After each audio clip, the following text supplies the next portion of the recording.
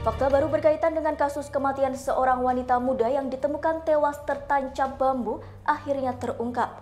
Polisi berhasil mengamankan terduga pelaku pembunuhan terhadap WT 21 tahun. Pelaku ditangkap pada hari Minggu 7 Februari 2021 siang. Kapolres Garut AKBP Adi Beni Cahyono mengatakan pelaku berinisial D 22 tahun berhasil diamankan di kawasan Terogong Kidul Garut. Dikutip dari Tribun Jabar.id, Beni mengatakan pelaku kemudian dibawa ke Polres Garut untuk menjalani pemeriksaan. Dari informasi yang dihimpun, pelaku masih memiliki hubungan dekat dengan korban, yaitu pacar korban.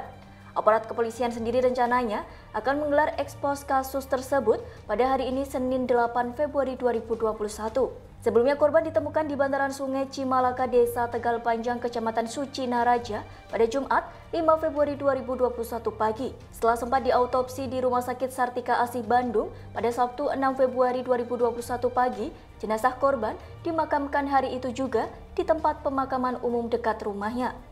Kedatangan jenazah WT membuat rumah duka diwarnai isak tangis keluarga dan kerabat. Ibu WT Nurjana 42 tahun yang berada di Arab Saudi tak henti-hentinya menangis atas kepergian anaknya. Ia meminta pihak kepolisian segera mengungkap atas kematian anaknya.